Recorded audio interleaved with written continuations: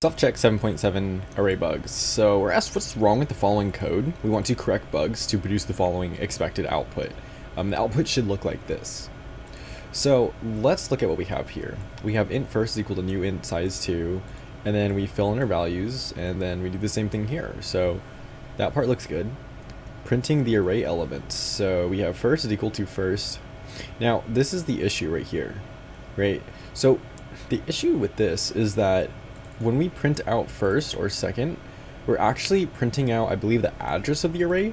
We're not printing out any of the elements. To actually go through an array, you have to use a loop to look through each element. So let's actually submit this, and we'll see that um, we passed zero out of one test, and that's because this is our output right here. It's not what we are getting. So if we want the first one, like how it's asking for here, we want the zeroth index. Same thing for this one. So zeroth index for both of these. That will fix that problem. Now we're going to check to see if the elements are the same. It seems like we're just comparing the first elements. So first at index 0 is equal to second at index 0. They contain the same elements if this is true, or the elements are different if this is false. We can press submit, and we can see what else we've changed. We have we have to change. So it looks like the differences in our output right here is that it wants both elements. So what we're going to have to do is we are going to have to include the second element here. So we have 3.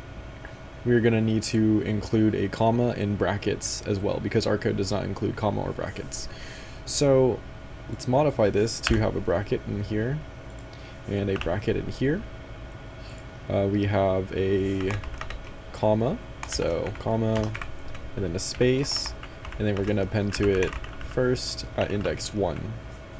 And we're going to do the same thing down with this one, except we're going to change this to second so we get the second one. And what else we can do for this one to make sure that both elements are or, or both arrays are the same, not just the zeroth index elements, we, we can do is compare the first index elements. So we can AND this together and say if first is equal to the second element, we're going to check both. And we passed a 0 out of 0 test because also forgot to include the last bracket. So this is good that we're testing this out and we'll include this right here as well. Pressing submit. We passed one out of one test.